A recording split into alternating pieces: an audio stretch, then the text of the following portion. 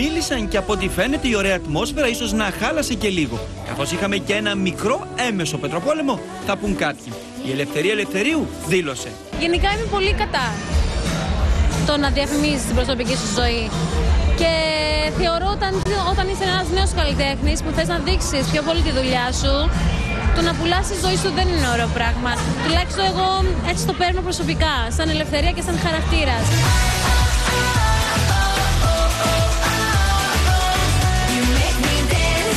Όλοι αμέσως κοίταξαν στραβά την τώρα. Νομίζω τώρα αυτό το κομμάτι με τα προσωπικά δεν ε, είναι για απόψε.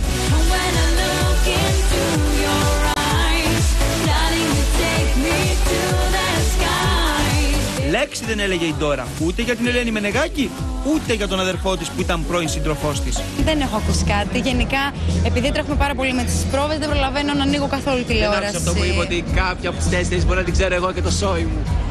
Ε, δεν θέλω να πω κάτι.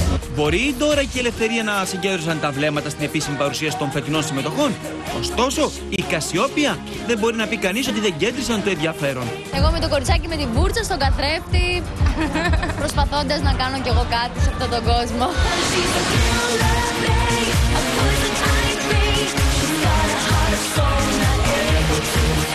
Άσε που εκτός από τη Μαρία, μία από τις χορεύτριες του Θέμου, έχουμε και την Καλομήρα νούμερο 2. Το 17 μου ε, έχω πάει στην Αμερική, σπούδασα στο Berkeley, Berkeley College of Music στην Βοστόνη και έκανα και τα courses μου voice performance και όλα αυτά ήταν όλα τέλεια.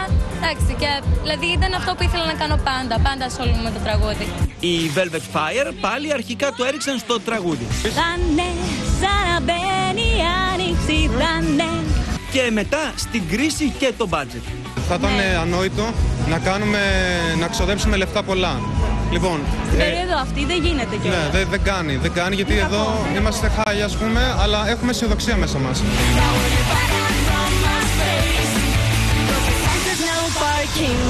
Όσο για το ελληνικό στοιχείο, στα τραγούδια εκεί ο καθένας και η κάθε μία ανέλαβε να υπερασπιστεί το τραγούδι της και το τραγούδι της. Πιστεύω ότι υπάρχει το ελληνικό στοιχείο και όχι μόνο στο δικό μου τραγούδι. Απλά ο καθένας υποστηρίζει το δικό του στυλ και το δικό του, τα δικά του ακούσματα. Εμείς υποστηρίζουμε αυτό. Άρα αυτή είναι η συμμετοχή μας. έχουμε ελληνικό στοιχείο. Έχουμε μπουζούκι μέσα, έχουμε λίγο. Τσιφτιτέλη, θα το έλεγα.